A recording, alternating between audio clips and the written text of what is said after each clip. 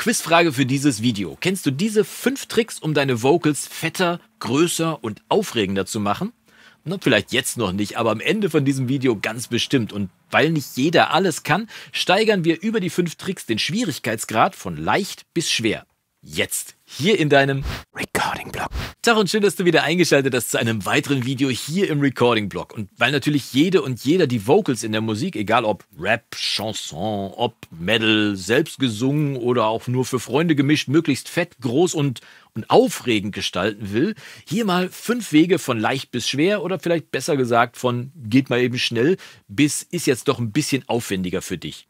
Dieses Video wird übrigens präsentiert von mir und von meinem Premium-Bereich auf recordingblog.com, in dem du als Teil der Premium-Familie nie wieder alleine sein musst mit deinen Problemchen im Studio. Und zwar egal ob Beginner oder Pro, egal ob du viel Zeit hast oder wenig, denn neben unzähligen wirklich ausführlichen Videomix-Tutorials und über 50 Songs zum selber mischen, übrigens auch der Song, den wir jetzt gleich hören werden, monatliche Mixkritiken mit Björn, die goldenen Uhren von Holtwig Schlüter und vieles, vieles mehr, gibt's dort das für mich eigentlich absolut Wichtigste, eine aktive Community, nämlich die Premium Familie bestehend aus vielen netten Menschen, die sich regelmäßig austauschen über Tricks, über verschiedene DAWs, über Mixkritiken, über Plugin-Schnäppchen, eigene Erfahrungen und vieles, vieles mehr. Und das Ganze gekrönt von unserem monatlichen Stammtisch, der Premium Mixbar. Also sei nie wieder allein mit deinen Problemen und wenn das spannend für dich klingt, dann findest du hier oben oder unter dem Video einen Link, unter dem du ganz schnell Teil der Premium-Familie werden kannst. Ich freue mich auf jeden Fall auf dich. So, und jetzt genug Eigenwerbung und um dich nicht länger auf die Folter zu spannen, starten wir mal direkt mit Trick Nummer 1.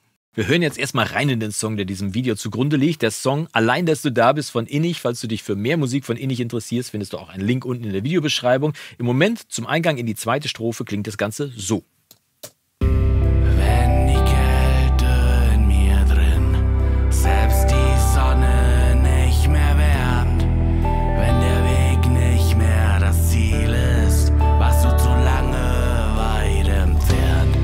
Also schon eine ganze Menge Ambience drumrum. Ne? Die Instrumente schwirren so vor sich hin. Die Stimme steht aber solo allein in der Mitte. Und wenn du in deinem Projekt vielleicht auch nur eine Stimme zur Verfügung stehen hast, dann möchte man, dass vielleicht ein bisschen mehr Breite und ein bisschen Tiefe dazukommt. Und der einfachste Weg, das zu erzielen, ist einfach ein Stereo-Delay zu nehmen, wie dieses hier zum Beispiel, was bei Cubase da mitgeliefert wird. Vor allem ein Stereo-Delay, wo man auf der linken und auf der rechten Seite unterschiedliche Delay-Zeiten einstellen kann. Habe ich hier auch gemacht. Auf der linken Seite ein kurzes Slapback-Delay schon fast, also ein Achtel-Delay. Slapback ist Achtel und kürzer vor allem.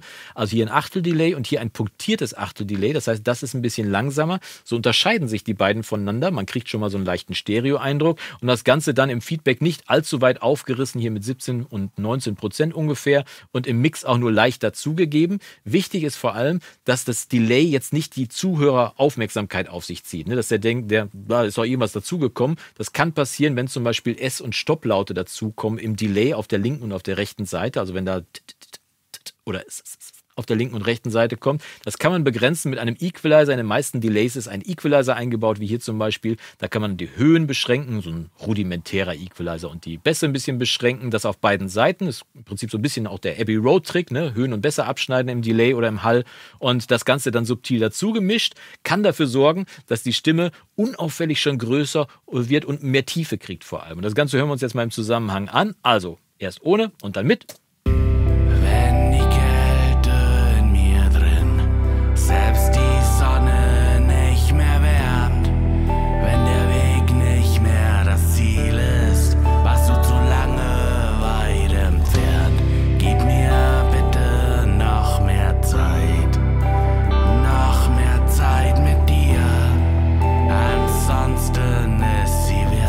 Also sobald man es wegnimmt, wird die Stimme eindimensional, steht nur noch in der Mitte, kann gewollt sein, aber wenn du das Gegenteil willst, das, was wir gerade erreicht haben, dann subtil dieses unterschiedliche Stereo-Delay links und rechts dazu gemischt, kannst du auch mit den Delay-Zeiten experimentieren.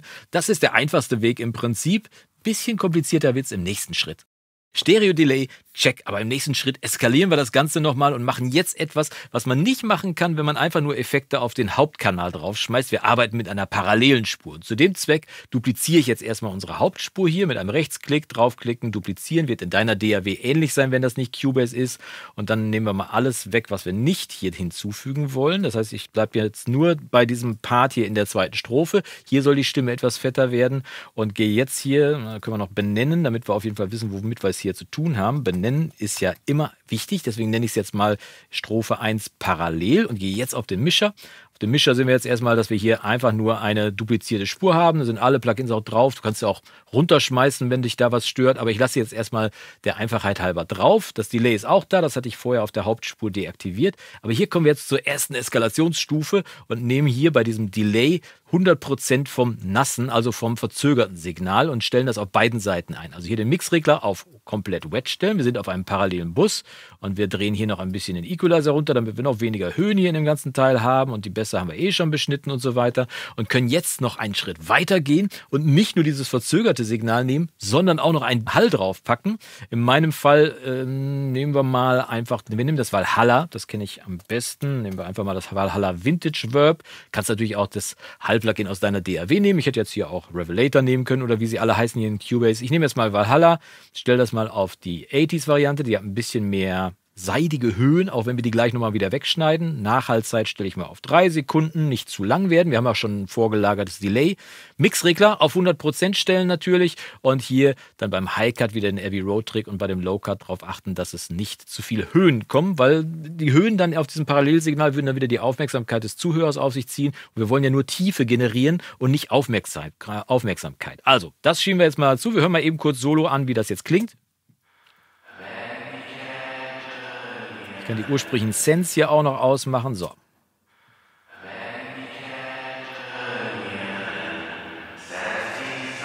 Verzögert und Hall. Und das Ganze geben wir jetzt mal im Mix dazu, denn die Entscheidung soll man ja immer im Mix treffen. Also fahren wir mal ab. wenn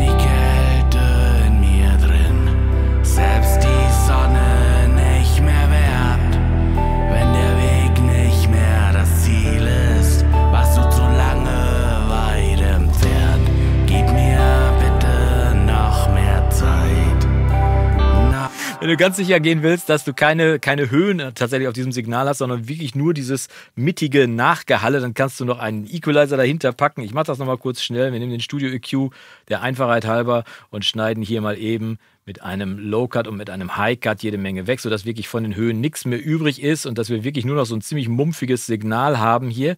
Gehen wir mal runter hier mit der Frequenz. So, mal gucken, was noch übrig bleibt hier von unserem Signal. So, und das schieben wir jetzt mal dazu nochmal. Einmal nochmal, dann haben wir es testweise gemacht, die Eskalationsstufe 2.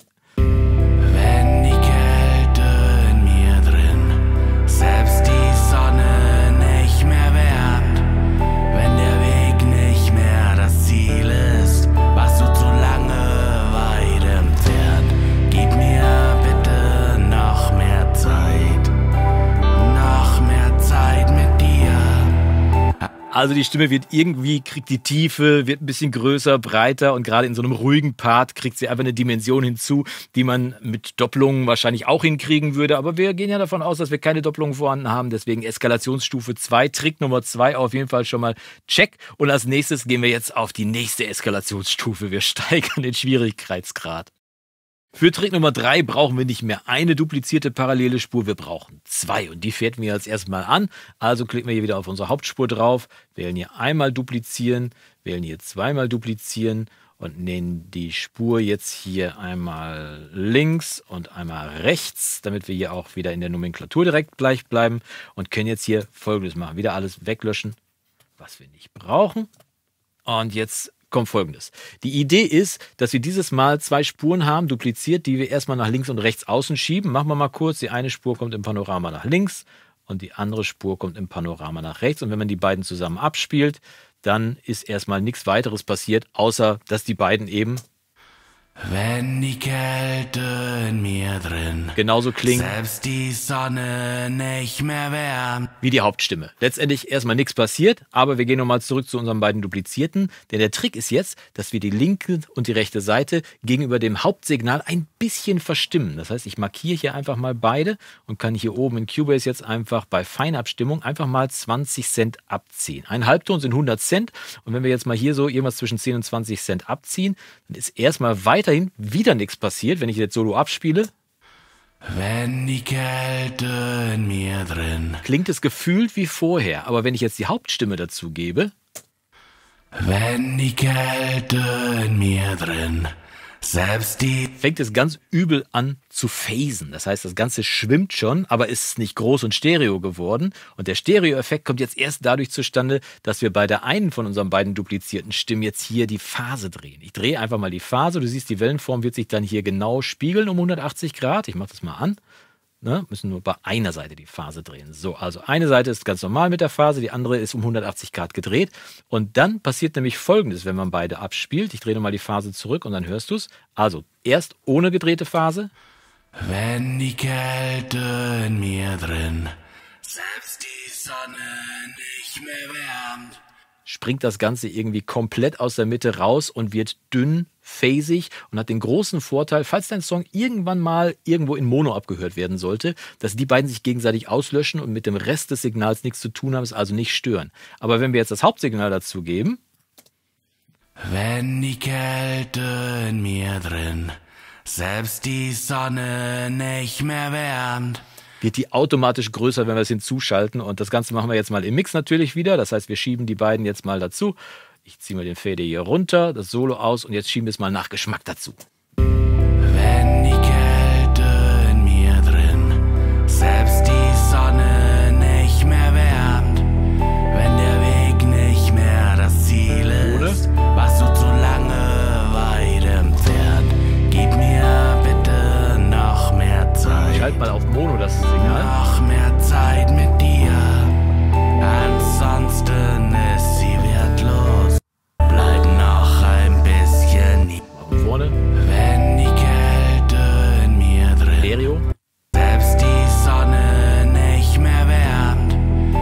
Also wir verstimmen die beiden Stimmen gegeneinander, drehen bei der einen die Phase, verschieben sie natürlich im Panorama nach links und rechts außen und dann schieben wir das nach Gusto dazu. Und es ist wieder einer der Effekte, wenn man sie wegnimmt, wird die Stimme klein, wenn man sie hinzufügt, wird sie groß.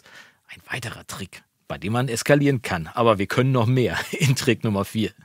Für den nächsten Trick habe ich wieder mit zwei parallelen Spuren gearbeitet, aber dieses Mal nicht mit vorhandenem Audiomaterial, sondern ich habe selbst zum Mikrofon gegriffen. Ich habe mich hingesetzt, habe aufgenommen, aber keine Angst, du brauchst für diesen Trick nicht der weltbeste Sänger der Welt zu sein und eigentlich auch nicht der Sänger von der Band oder die Sängerin von der Band, sondern das Einzige, was du können musst, ist flüstern.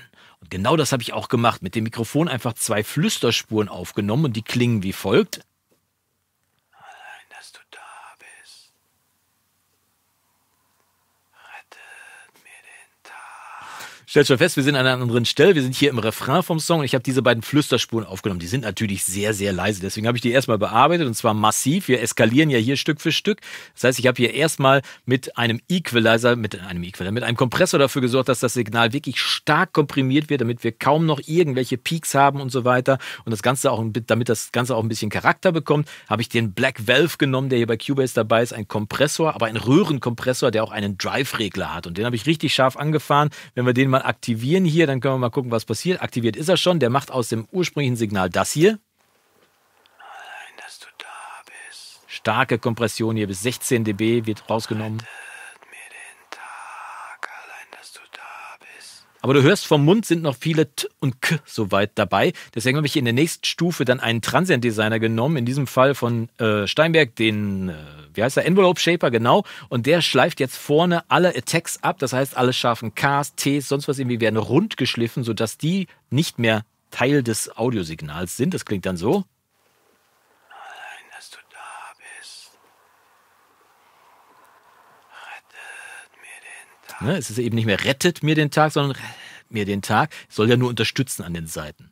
Als nächstes dann ein DSer, weil auch die S-Laute sollen nicht stören. Du siehst, ich räume hier extrem auf und habe die beiden S äh, DSer hier draufgepackt auf die beiden Spuren, damit wir daraus dann das, Allein, dass du da bist. auch starke DS-Arbeit, Rettet mir den Tag. Sodass im Prinzip nur noch das rhythmische Rauschen übrig bleibt, was meine Stimme dann produziert hat. Das Ganze dann geroutet auf einen weiteren äh, Bus und auf dem Bus gehe ich auch nochmal mit einem Equalizer zu Werke. Also hier erstmal die, die Bässe weggeschnitten, die Mitten bei 500 Hertz weggeschnitten, die Höhen, alles was auffällig sein könnte, rauspieken könnte und so weiter. Und dann nochmal mit einem DSer gearbeitet, hier den DSer draufgepackt, der weiter DSen darf.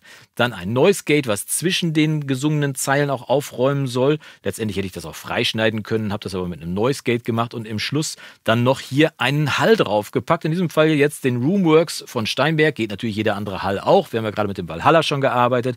Und damit wird dann aus unseren beiden links und rechts gepannten eingeflüsterten Stimmen wird folgendes. Mach's mal laut hier, damit du es auch hören kannst.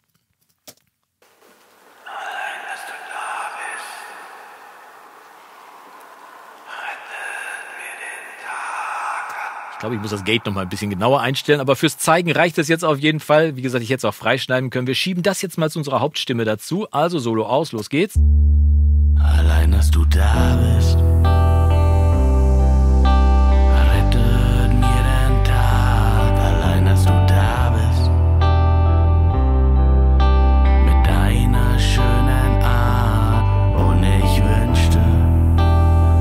Ohne Hall. die Zeit vergehe nie. Friede im Moment ein. Mit. Denn ich genieße sie. Einmal. Allein, dass du da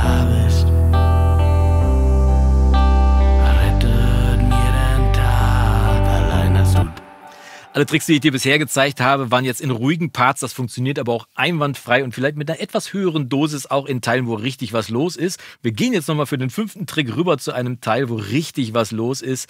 Aber da greifen wir jetzt mal richtig rein. Jo.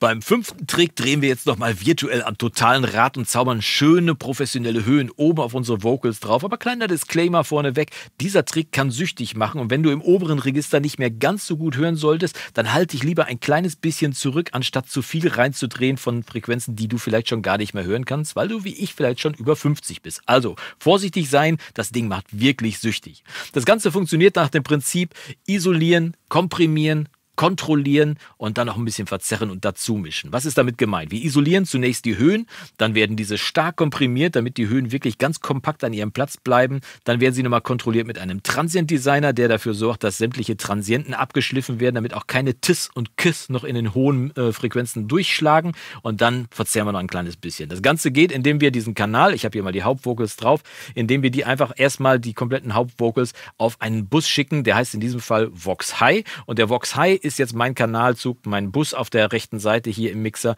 mit dem ich jetzt die Bearbeitung vornehme. Du siehst, dass hier schon einiges an Plugins drauf ist, genau nach den Prinzipien, die ich gerade gesagt habe. Also zunächst einmal wird auf diesem Bus das Signal, was da reinkommt, isoliert und zwar wird das reduziert auf diese Höhen. Wir haben hier einen äh, High Shelf, äh, nein, einen High äh, Pass, so nennt man das, einen Low Cut oder High Pass. Also die Höhen werden auf jeden Fall durchgelassen, die Bässe werden abgeschnitten. Alles unterhalb von 6 Kilohertz wird hier in diesem Fall mit einer relativ weichen Kurve abgeschnitten. Sorgt auf jeden Fall dafür, dass von unserem ursprünglichen Signal nur noch das hier übrig bleibt. Ohne den Equalizer. Rettet mir den Tag. Ist nicht mehr so ganz so viel, aber als nächstes, damit es auch ein bisschen lauter wird danach und kontrolliert wird, habe ich direkt einen Kompressor draufgepackt. In diesem Fall ein 1176, der richtig zugreift. Hier im All-Button-Modus ist der eingestellt. Der soll also richtig arbeiten. Schnelle Attack-Zeit, schnelle Release-Zeit und dann so eingestellt, dass er volle Pulle komprimiert und dabei dann aus diesem komprimierten Signal folgendes wird. Allein,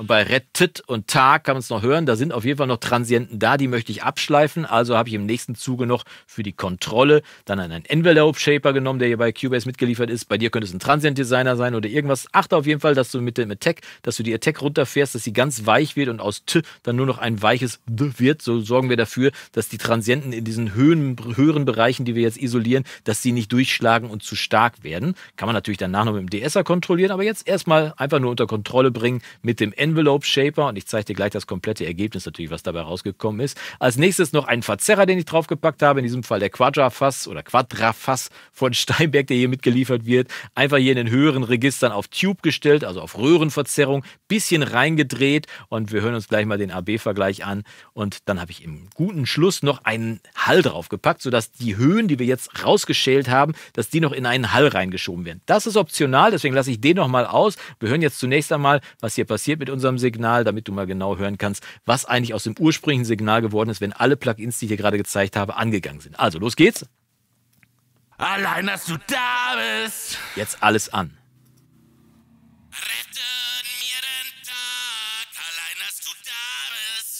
Oh ja. Mit dem Hall drauf, den ich hier so eingestellt habe, dass er ungefähr zwei Sekunden Hallzeit hat, dass er im Mix eben nur zu 30, 35, 40 Prozent zugemischt ist. Muss mal gucken, was für dich passt. Und wo ich natürlich auch hier wieder mit dem High-Cut und mit dem Low-Cut dafür gesorgt habe, dass die Frequenzen nicht zu stark durchschlagen, die wir jetzt hier in den Hall reinschicken. Mit dem Hall klingt das Ganze so. Allein,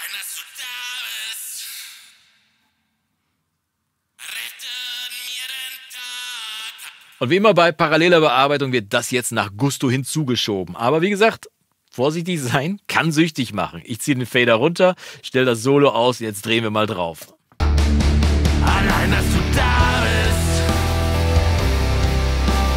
Rette mir den Tag. Allein, dass du da AB-Vergleich.